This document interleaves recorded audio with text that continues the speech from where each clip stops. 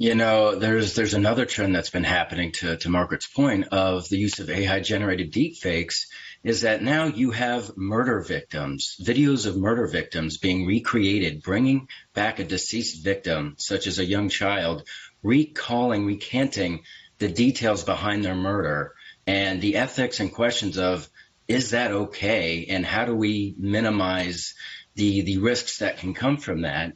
and I, I think from a standpoint of revenge porn, absolutely. It's a big problem, and the problems that can come from the legitimate use of this technology, if not guarded against, can be exemplary.